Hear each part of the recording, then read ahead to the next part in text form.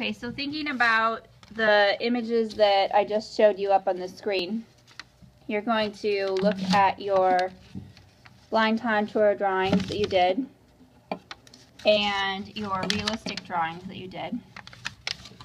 And between that and the composition that you have so far with your collage, you're going to decide how are you going to make this into a cubist composition by showing different views of an object, showing movement, or breaking your object up into shapes. Okay, so I've cut out my drawings that I like. I've got one realistic and two blind contours. Um, so what you want to do is kind of play with your arrangement. I'm not sure I even like this one here, so I'm going to pull that out for now. Maybe I like it this way. So I decided I'm going to make my composition go vertical. So I've got one realistic drawing here. I'm going to add another leg coming off here. And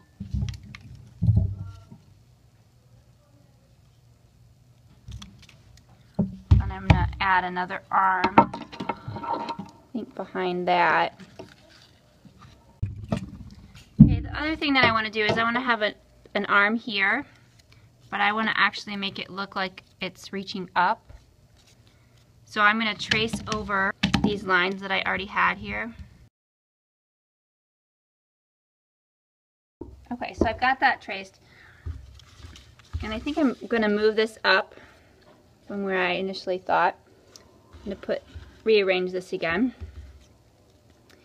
Now I can have one arm, extra arm facing up and extra arm facing down.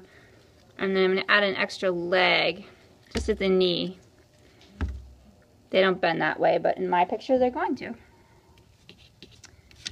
So I'm going to go ahead and glue that down and then see what else I want to do.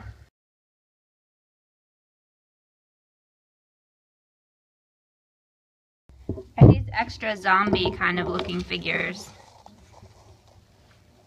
And maybe I want to put those in. I'm just going to save those for now. So not sure. The other new thing that we have today is this tracing paper so you can see through this. I wouldn't recommend putting it over your focal point, your main object.